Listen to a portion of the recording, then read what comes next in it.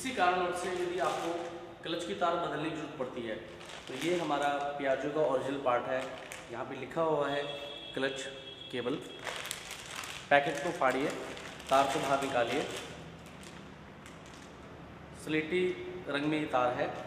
ये हिस्सा क्लच की तरफ़ जाएगा, जो ये नॉब दिया गया है, और ये हिस्सा आपके क्लच लीवर पे, यानी कि हैंडल बार पे जाएगा। क्लच केबल बदलने के लिए आपको इन तीन टूल टेप, दस का स्पैनर, आप ओपन या रिंग दोनों ले सकते हैं, और प्लस का स्क्रू ड्राइवर। इंजन के इस हिस्से में क्लच केबल यहाँ पे लगी है। ये देखिए, क्लच केबल है, ये क्लच लीवर है। इसको खोलने के लिए इस स्क्रू को आप लूज कीजिए।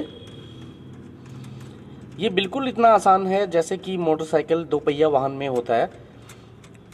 लूज करने के बाद इसको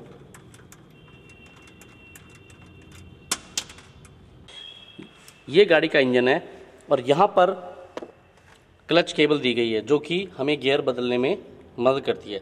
किसी कारणवश ये केबल बदलनी पड़ती है तो बहुत आसान है। ये हमारा लीवर है। इस लीवर के साथ इस स्क्रू के द्वारा इस केबल को बांधा गया है। इसको स्क्रू लूज कीजिए केबल बाहर आ जाएगी। वहाँ से इस केबल को पीछे पुश करके बाहर निकाल लीजिए। उसके बाद इसको पीछे खींचकर केबल को यहाँ लाइए।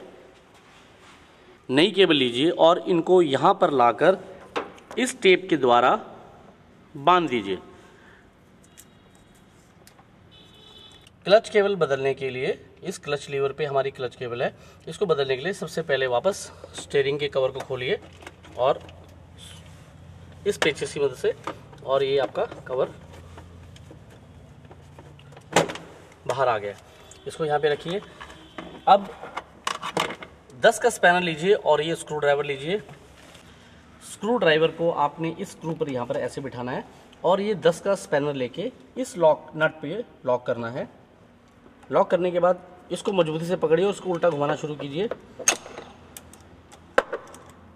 लूज़ होने के बाद इस स्क्रू को बाहर निकालिए ध्यानपूर्वक और इनको संभाल कर डैशबोर्ड में रखिए। अब आपका जो लीवर है, ये यहाँ से बाहर आ गया है। जब आप स्क्रू निकाल लेंगे तो इसके अंदर ध्यान रखिएगा आपको ये वाशर और एक ये डॉवेल मिलती है।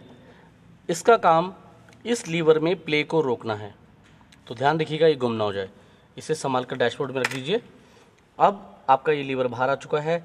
यहाँ से इस लीवर में से केबल इसको थोड़ा सा घुमाइए और इस खांचे में से केबल को बाहर निकाल लीजिए। देख सकते हैं क्लच केबल अब फ्री है।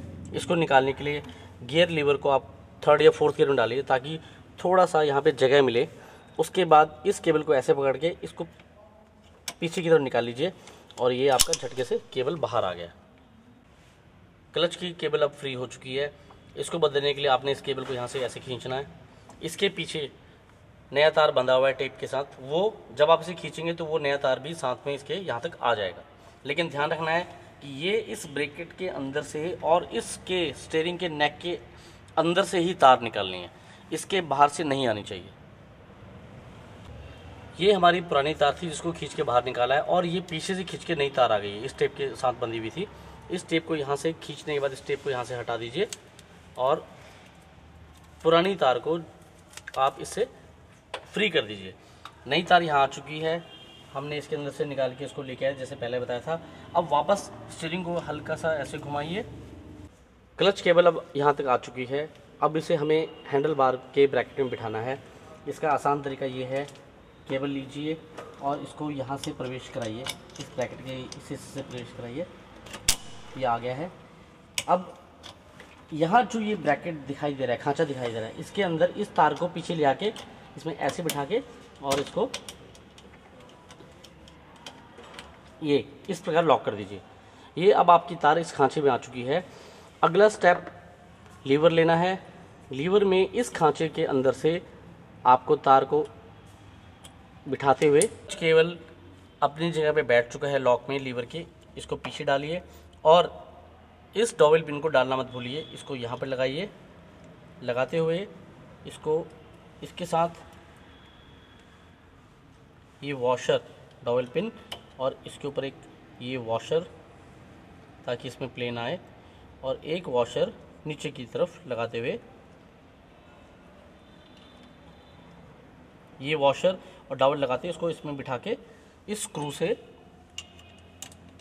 लॉक कर दीजिए। जैसा आप देख सकते हैं हैंडल बार में हम क्लच केबल को टाइट कर चुके हैं। अब जो क्लच लीवर पे, जो इंजन पे है, उस पर असेंबल करने के लिए तार का ये हिस्सा लीजिए। एक कार्बोरेटर है इंजन का जो कार्बोरेटर है इसके नीचे से इसका रूट है, तार को निकालिए। निकालते हुए ये क्लच लीवर के इस ब्रैकेट में, इसे होल्डिंग लॉक में लाइए और इसको यहाँ पे बिठा के इसे लॉक कर दीजिए। इस प्रकार ये लॉक हो जाएगा। ये हो चुका है। अब आपको केबल को इस लीवर में लॉक करना है। उसके लिए ये स्क्रू और ये डिवाइस आपके थ्रू आप लॉक करेंगे। आपको इस पिन को लेना है और यहाँ पे आपको लीवर में इसको बिठाना है। अब एक हाथ की मदद से क्लच केबल को हमने यहाँ पे लॉक कर दिया है और उसके बाद पिन में भी इसको डाल दिया है। आप देख सकते हैं पिन के अंदर ये ऐसे ट्रैवल कर रहा है। इसका मतलब ये, जब हम इस स्क्रू को लगाएँगे तो ये इसको अपने आप आगे खींच लेगा। इसके लिए आप इसको दबाइए और एक हाथ से इसके ऊपर चूड़ी चढ़ाकर इसे टाइट करते जाइए। स्क्रू को उतना ही टाइट करना है, जिससे कि क्लच के लीवर में मामूली सी चाल रहे प्ले रहे। यदि आप इसे अधिक टाइट करेंगे तो आपका क्लच हार्ड हो जाएगा। और ये, इतना थोड़ा सा ये फ्री रहना चाहिए। ये यहाँ पर बिल्कुल ठीक है, इसको यहाँ पे लॉक करके छोड़ दीजिए। इस प्रकार आपकी क्लच केबल रिप्लेस हो गई है। क्लच केबल बदल चुकी है, क्लच लीवर काम कर रहा है। अब आपको डैशबोर्ड का कवर लगाना है। ध्यान रखिएगा दोबारा, ये जो लॉक्स हैं, ये अपनी जगह पे बैठें प्रॉपर तरीके से। यहाँ बिठा के इन्हें पुश कीजिए, ये अपनी जगह पे आ गए हैं। प्लस का स्क्रू ड्राइवर लीजिए और इनको अपनी जगह पे दोनों स्क्रू को अच्छे से टाइट कर दीजिए।